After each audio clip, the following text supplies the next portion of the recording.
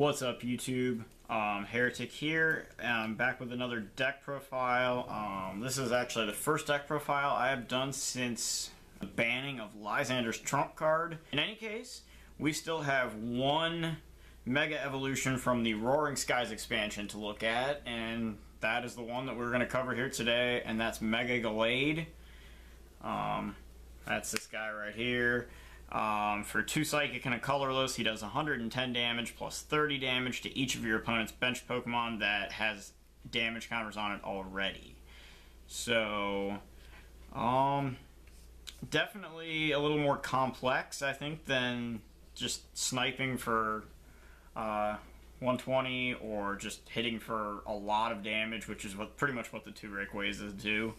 Um, I think there's a little more uh, strategy that goes into this guy and we'll see if we can make him good or not. So anyway, we're going to start out with three Gallade EX. Uh, as you can see, we play the one from the booster pack, not the uh, box promo, mainly because for one energy he can swing with uh, the Dimension Valley out for 30 and force a switch out if you if you so desire on your opponent's end. And then for three Psychic, you, if you can ever manage to get this attack off, uh, piercing prizes, if you have not taken a prize yet, will deal 170 damage, which is enough to knock out a bunch of, a good chunk of regular non-mega EXs in the game right now.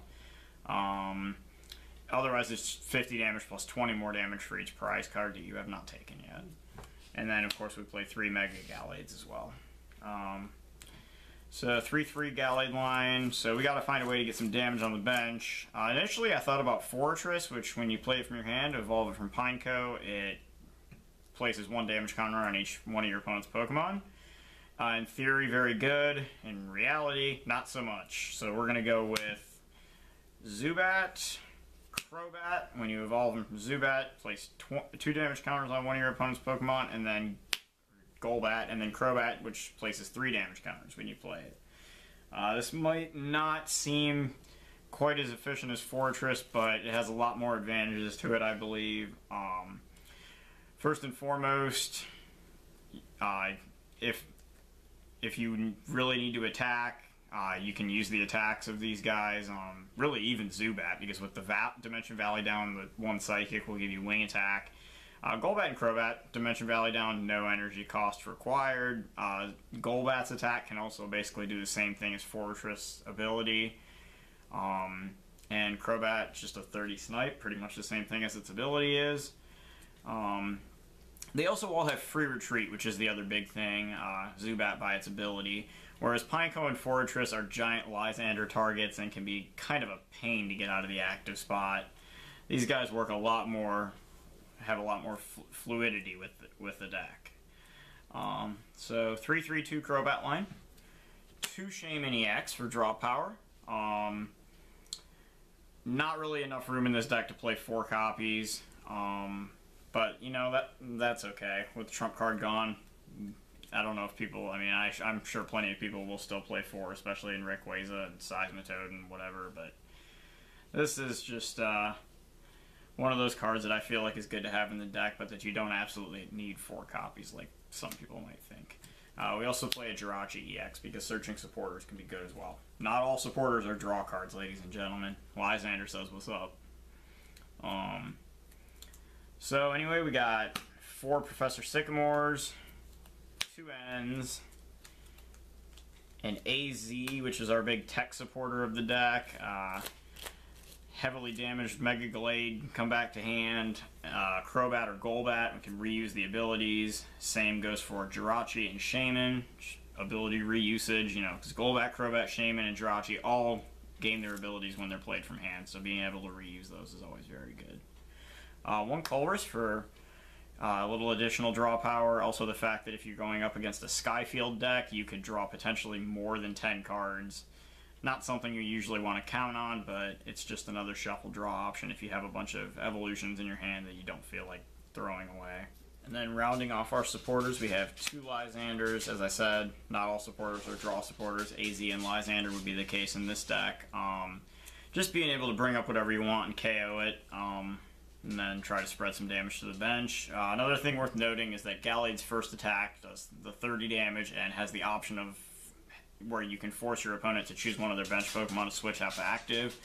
Sending a damaged Pokemon to the bench, aiding Mega Gallade's ability to use Unwavering Blade for bench damage. Of course, a Mr. Mime just screws that whole thing up anyway, but that's just something you kind of have to deal with. Um, we play four Dimension Valleys, make sure you win that Stadium War. One energy for the 30 damage for that first attack on Gallade, free attacks from Golbat and Crobat, and two Psychic Energies for the cost on Mega Gallade's attack. Really just seems a lot better when you don't have to pay that third energy. Um, item cards, got four VS Seekers, get back supporters because that's usually pretty good play four super scoop ups, just like AZ, curing a damage to Gallade, bring Bats, Shaymin, or Jirachi back to hand for reuse, or just using it as a switch. Uh, three Ultra Ball to search Pokemon out. It's pretty self-explanatory. Uh, three Trainer's Mail because the card is just ridiculous, and if I feel like just about every deck should be playing that right now.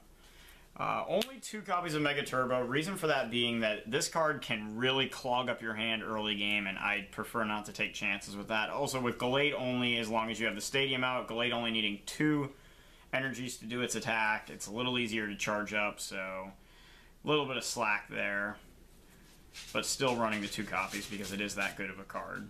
Um, and then one computer search to get to get whatever you need because it's just yeah, that's just good. Uh, three Gallade Spirit Links to evolve to Mega Evolve and not end your turn. And then we play four Mystery Energy, which any of the Psychic types in this deck, I mean the Bats already retreat for free, the Gallades will retreat for free with this attached. And then we play five basic Psychic Energies to round out the deck.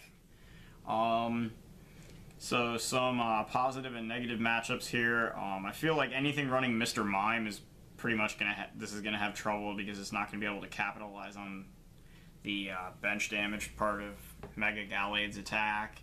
Uh, other psychic type based decks, like the Ghost ones specifically, that don't have weakness right back, uh, stuff like Gengar and Trevenant um, could definitely pose a problem here if you can't deal enough damage quickly enough. And I mean, also, you know, just kind of like heavy hitting stuff like Rayquaza that just if it blows up right away. I mean, you can try to force them into a deck out situation with AZ, four VS Seekers, and four Super Scoop Ups, but um, usually an opponent will be smart enough to know, hey, I'm about to deck out. But who knows? Uh, with Lysandre's trump card gone, this definitely uh, opens up some doors, I think, for some decks to either emerge or re-emerge. This is just kind of a nifty little deal. Um, I feel like some of the cards in the format might hinder this deck a little bit, but if you can make it work, I think it's definitely at least a good league play deck. You know, just just for fun.